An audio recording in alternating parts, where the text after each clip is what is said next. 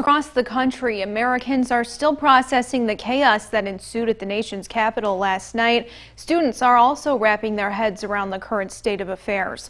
A local teacher tells Dylan Saraki how his lesson plan will approach the situation. We have to be able to identify what's true and what isn't.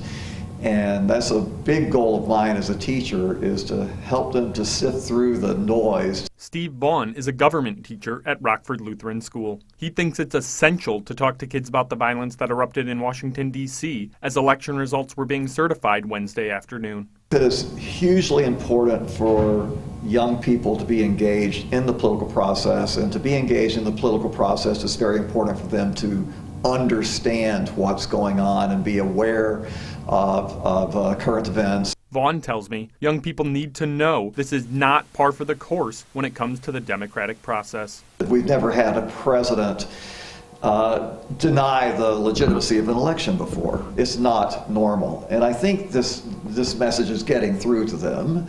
Um, I think they understand that, but they've never witnessed normalcy, and that's unfortunate. If you're struggling to start a conversation with your kids, experts suggest talking about both appropriate and inappropriate ways they can pursue change. I think we have to differentiate and make sure children know that what they saw was not protest and what they saw was rioting, was violence, were acts of hate. There's no excuse for you know demonizing your opponents. Um, you just t- tell the truth and be respectful, and, and that's as much as we can ask. In Rockford, for your home team, I'm Dylan Saraki.